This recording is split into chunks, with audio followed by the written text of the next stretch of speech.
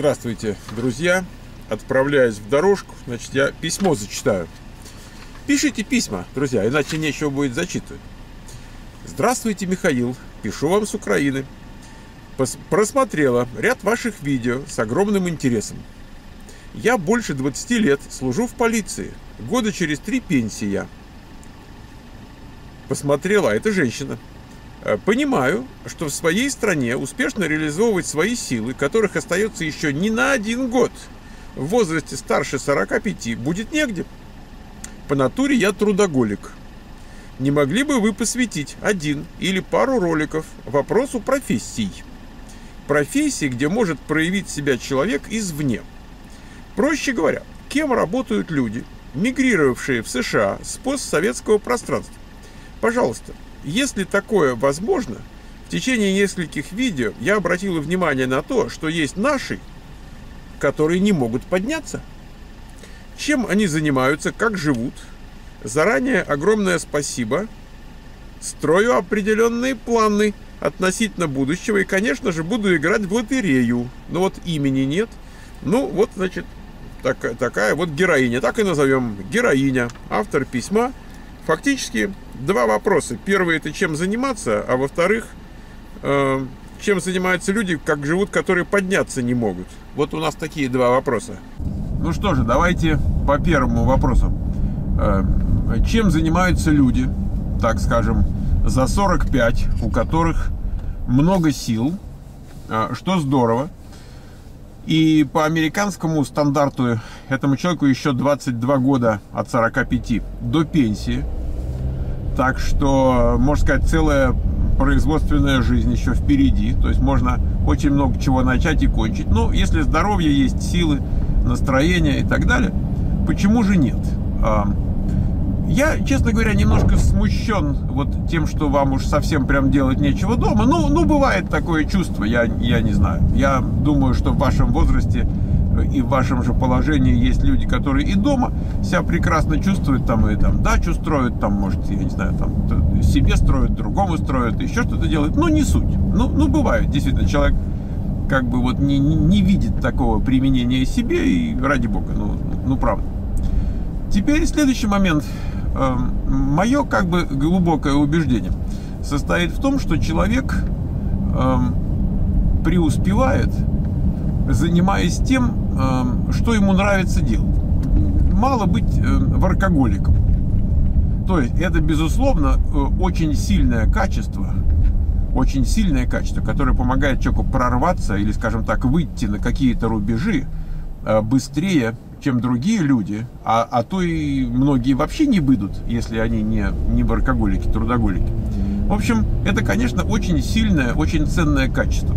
Особенно, когда с огоньком, с удовольствием и так далее. Это вообще здорово. Но, э, что сказать, надо заниматься таким делом, э, которое тебе нравится, раз, э, и которое дает, как бы, какую-то ценность имеет для других людей, создает какой-то продукт или какую-то услугу, которые люди готовы воспользоваться, или хотели бы воспользоваться, или готовы много заплатить, или немного, чтобы воспользоваться. Вот представьте себе такого несостоявшегося, например, художника, который что-то хотел сказать, но как-то так то ли не сказал, то ли его не услышали, вот он э, рисует там для себя, да, и у него не покупают. Или вот он писатель, он пишет в стол, и никто не публикует. Ну, ты можешь даже вот в сегодняшнем мире проще, ты можешь повесить куда-нибудь там в интернете, а никто не читает. Вот как с этим быть?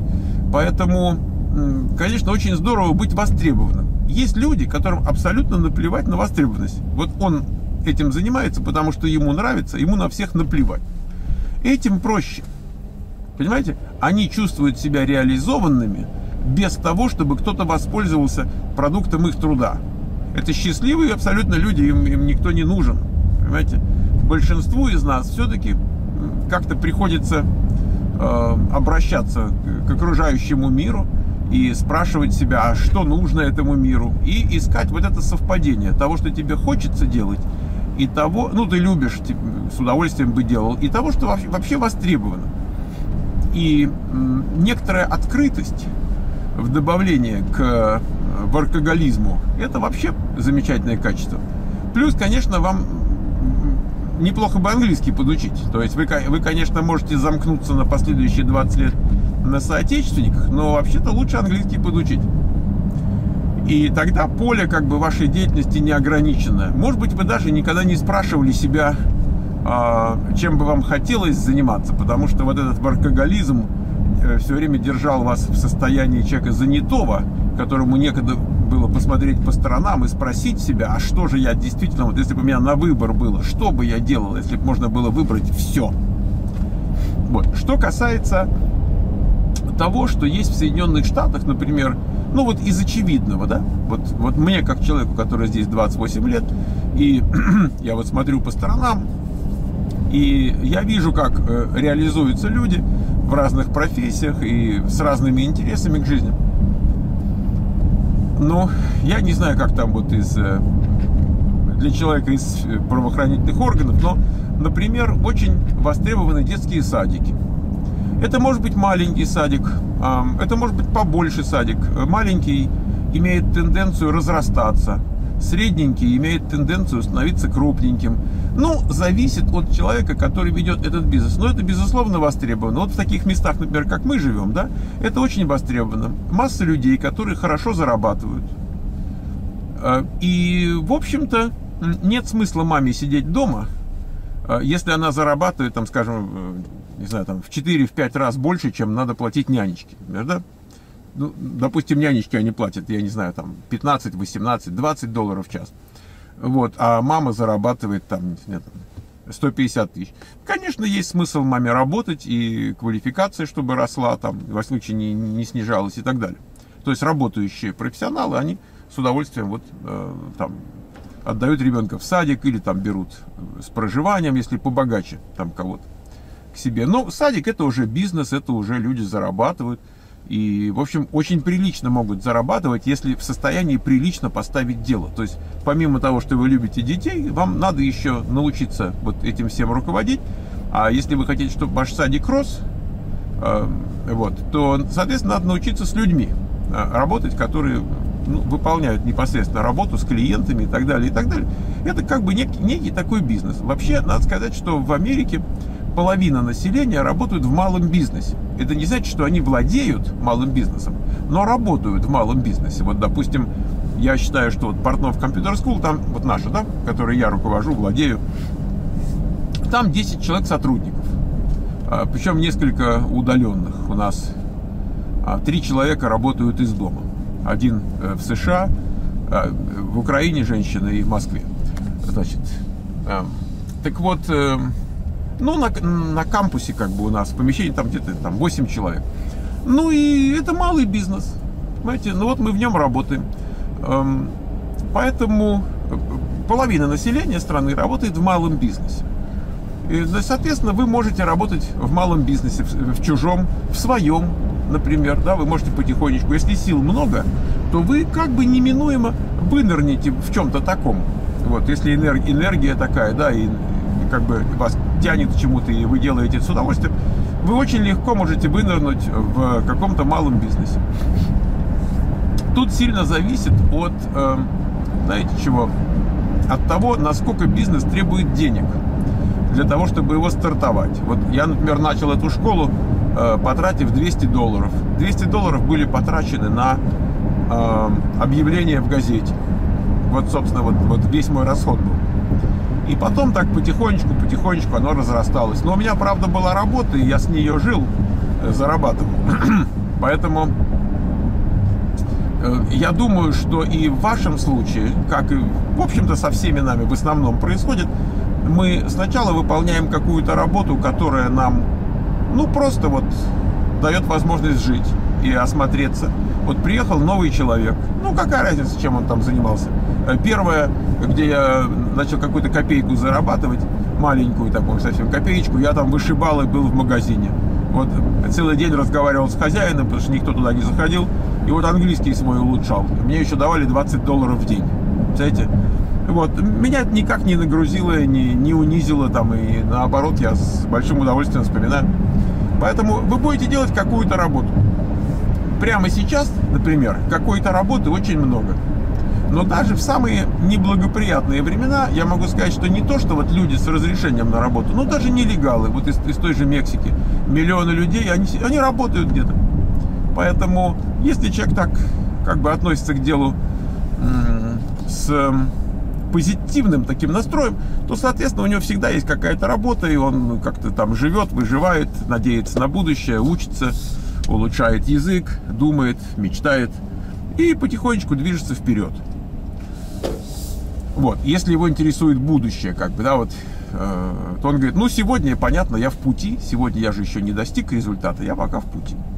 Вот и вы так, значит, начнете с чего-то, начнете разбираться, Эм, если вы к чему-то тяготеете, вы можете начать, например, просто работать в таком месте, э, чтобы э, понять этот бизнес, этот вид деятельности. Это может быть детский садик, вы можете работать в садике у каких-то других людей.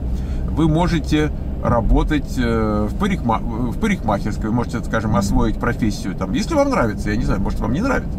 Но если вам нравится, вы можете освоить профессию, там, я не знаю, массажиста, или салон красоты какой-нибудь, как, вот эти estheticians, я не знаю, как по-русски правильно сказать, вот эти люди, которые делают там массаж лица, я не знаю, как, какую-то как там, вы лучше знаете, я не буду да, пытаться определить.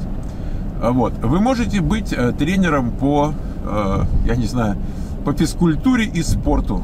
Э, здесь вот вся страна, понимаете, э, ходит там и тренируется, и занимается, и нужно, потому что люди ведут такой образ жизни, сидячие, лежачие, полу, полу, не знаю, там на одной ножке и так далее. Если хотите, может быть, вы сами так, какая-то спортсменка, атлетка там и так далее, я не знаю. Но все это зарплата, все это деньги, все это дает возможность жить, э, развиваться и так далее. Э, скажем, на мужской э, стороне я бы вас начал спрашивать, а вы там рукастый, а вы любите строить, Э, и так далее. То есть, может быть, вы бы там строительство пошли, это абсолютно такая э, громадная область, тут много чего строится, ремонтируется там и так далее. Ну, скажем, если, если я так правильно понял, что это женщина, ну, значит, мы строительство тогда отбрасываем. И, допустим, работу на траке мы тоже отбрасываем. Потому что есть такая мужская работа, вот сел на трак там и фигачишь. Вот, но это как бы вот, я не считаю, что это женское такое занятие. А, э, вы можете переучиться на что-то, на что многие переучиваются, вот женщины. Очень многие переучиваются на бухгалтерию. Эм, это не такой несложный процесс. Это не нужно делать дома, переучивается уже здесь. Можно там за месяца три чему-то такому подучиться, чтобы уже пойти работать. И так потихонечку доучиваться, переучиваться, двигаться в этом направлении. Очень многие переучиваются на медицинские специальности. Тоже я не знаю, насколько вам это близко. Тоже там есть курсы, когда там месяца три ты позанимался, уже можешь выполнять какую-то работу, но медицинской ее трудно назвать. Ну, вот типа такой, там, нянечки, да, там где-нибудь при госпитале. Вот там, вот. И дальше потихонечку, полигонечку там пройдет там 3-4-5 лет, и вы уже можете быть на очень приличном уровне. Э, если вам хочется быть в медицине, но медицина как бы такой вот бизнес, что вроде, не знаю, а, люди здоровее не становятся, живут дольше, находятся в таком состоянии, когда помощь нужна дольше. Это, это растущий бизнес. В целом по стране не хватает медперсонала. Бывают в разных обстоятельствах там разные ситуации, но в общем, в общем-то, это неплохо, если, если тяготение такое есть. Это вы работаете по найму, в хороших условиях, вам там платят денежку приличную, пенсионные планы, все дела. Единственное, что там может быть сменная работа и так далее. Но уж такой воркоголик, там может быть, вам может быть ничего. Вот.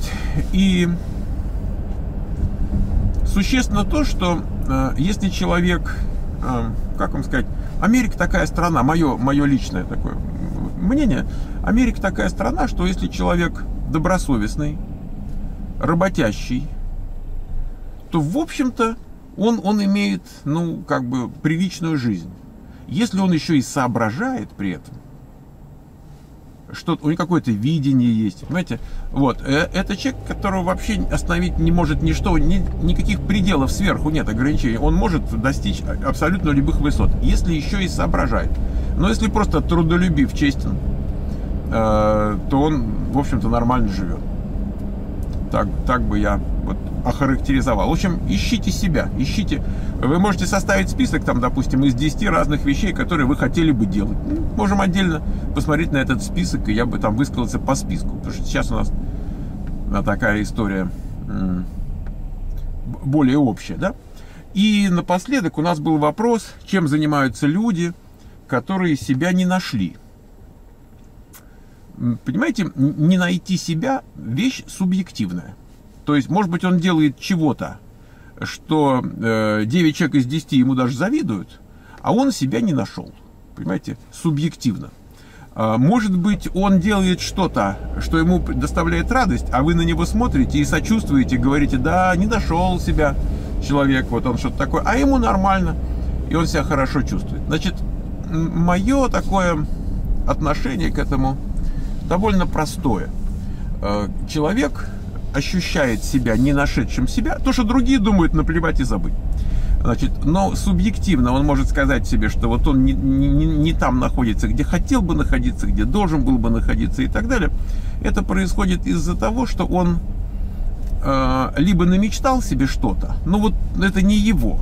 Понимаете, и он там никогда там рядом не стоял. Но вот у Васи получилось, да? А, ну так я тогда тем более могу. Не, не, не факт. Вот, вот как только начинается, ну если он может, вот в этот момент уже проблема я уже знаю заранее. Я, я видел много таких э, разговоров, поэтому и что потом происходит. Поэтому он либо нереали, нереалистично очень подошел и никак не может этого принять, потому что как только он это принял, он сразу начинает выкарабкиваться и идти туда, куда надо было бы идти. Но если он отказывается принять, что он не рассчитал, что он не, не, как бы неправильно спланировал, недооценил, переоценил и так далее, и так далее, когда он уперся в это, вот тогда у него возникает проблема. Следующий момент – что может быть. А, бывают люди, которые тоже из области как бы недооценил, переоценил, которые просто не способны к производительному труду. И э, они просто не могут работать. Я, я таких людей знаю. Он может разговаривать, он может конючить, он может нудить, он может всех вокруг обгаживать дерьмом и так далее, и так далее, но он работать не может в принципе. То есть таких людей тоже много. Я не думаю, что я описываю какой-то образ, который вам непонятен, что вы никогда в жизни таких людей не видели. Я думаю, что вы их видели предостаточно. Вот, вот это такой образ. Вот. И есть еще категория людей, которые никогда не бывают довольны. А, им все должны, они что-то вот там, ну я не знаю, вот недоволен человек. Это не важно, в какой стране он живет, это не, не важно, что у него есть. Всегда кто-то виноват, всегда что-то происходит. Есть люди, которые не умеют получать радость от жизни. Вот все у тебя есть, а он не рад. Такие тоже есть. И можно сказать, что он себя не нашел, но, может быть, он в другой жизни себя найдет. Это не связано с Америкой никак. Абсолютно. Поэтому люди веселые, независимо от того, в какой стране они живут. Вот, вот я был веселый там в СССР, я и здесь веселый. Понимаете, и настроение всегда хорошее. Если никто, никто специфически не испортит, то, что бывает крайне редко, значит, у меня всегда хорошее. Не потому что что-то, просто родился такой. Поэтому вот бывают люди родились такими, что не могут работать. Бывают люди, которые родились такими, что им э, они хотят получать от мира, но ничего ему не давать. Есть люди, которые просто хотят конючить и конючить и конючить и конючить. Они вампирят чужую энергию. И таким образом они как бы подпитывают себя. Это просто форма существования. Вот, собственно, и все. Поэтому им не так плохо. Они не нашли себя просто потому, что а, вот путь к нахождению себя они проходить не хотят. Он известен абсолютно все известно. Вот вы можете поговорить со мной, вы можете поговорить еще с кем-то э, более-менее разумным. Вам скажут примерно одни и те же вещи. И они их слышали тысячу раз. Но так они не хотят. Хочется какого-то особого пути, понимаете? Такого, чтобы вот как-то так и сразу. Эм, я вам расскажу случай такой. Эм, это было много лет назад, тогда только-только начались все эти перестройки, э, коммерческая жизнь. И я оказался в каком-то туснике там коммерческом, и там был мужчина один, ему было тогда лет 55, а мне было там 30, не знаю, там 3. Вот, он был такой, он был фотохудожник. И вот этот фотохудожник, он такой был разбитной мужик, и он мне, значит, рассказывал Ну, просвещал меня по бизнесу, значит. Как бы мы с ним пытались вместе, может быть, там что-то сделать. И он мне говорит, понимаешь, говорит он, есть две концепции, исторические, есть две концепции развития бизнеса. Вот, значит, русская, говорит он, и еврейская. Он меня этой мыслью исключительно заинтересовал. И потому что я такого никогда не слышал. Лахметкин его фамилия, его звали Борис Лахметкин. Вот, э, совершенно очаровательный мужик, я с большим удовольствием вспоминаю. А, вот, этот Борис Лахметкин говорит, есть две концепции. Я говорю, и, и как, как же отличаются? Но он, знаете как, он как человек искусства, он, конечно, прикольщик был такой, э, подначивал, но он говорит, смотри, говорит, еврейская концепция, она такая, значит, старая как мир, значит, э, состоит она в том, что надо много работать, и что результат сразу не будет, но будет со временем. Значит, если ты будешь много работать э, и так далее, оно со временем появится. Я говорю, а русская? Он говорит, а русская другая. Он говорит, это когда денег, первое, сразу, второе, много, третье, не работая. Я, ну, я ему говорю, ну, ну как же, ну, а как? Как вы себе это представляете? Может быть, вы пример какой-то приведете? Он говорит, конечно, говорит, легко. Вот, говорит, идешь по улице, видишь, там идет мужик в норковой шапке, разогнался, схватил шапку и ходу. Я говорю, и? Он говорит, ну как и? Вот смотри, говорит, денег много, сразу и не работая. Понимаете, ну это такая, как бы сказать, немножко утрированная форма, но если вы переработаете ее, так сказать, применительно к тому вопросу, который там создавал, который задавался, это примерно то же самое много сразу и не работая. А, а, а если вот, допустим, много работать, так это каждый дурак может. Если не сразу, ну так это то, это у всех так. Понимаете? А так, чтобы сразу и много, и не работая. Вот, и вот и не состоялся, вот и не, не получилась жизнь, понимаете? Хотел как, как лучше, а жизнь не э, состоялась. Или как там это было написано? не могут подняться, наши, которые не могут подняться. Хочется подняться, но быстро, сразу, быстро, много и не работая. В основном вот как бы в этом деле. Бывают трагические случаи, бывает человек заболел, просто здоровья нет. Бывает психического здоровья нет. Разного здоровья бывает, что нет. Так, я тут на улице стою, препятствую э, людям двигаться. Ну, в общем, короче, друзья, я с вами прощаюсь. И вот Э, будут еще вопросы, задавайте, потому что если вопрос не будет, то мне тогда и ответить нечего.